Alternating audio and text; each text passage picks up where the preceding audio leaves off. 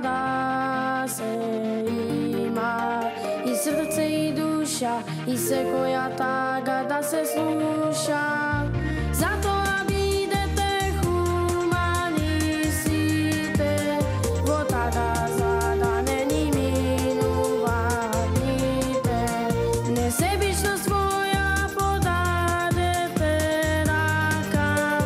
Секој да може